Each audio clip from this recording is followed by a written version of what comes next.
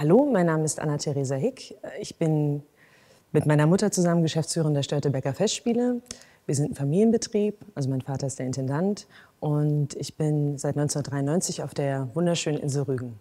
Ich durfte ein kleines, quengeliges Mädchen spielen, die sich mit einer Pergamentrolle, äh, die sie auseinandergedreht hat und als Hut, als sozusagen eine Tüte auf den Kopf setzte. Und ich erinnere mich daran, ähm, wie Klaus Störtebecker alias Norbert Braun mich dann hochnahm und dann sagte, Mensch, du siehst ja aus wie eine kleine Königin. Das fand ich ganz, das war natürlich ganz toll. Der Held, äh, der Klaus Störtebecker und Norbert Braun.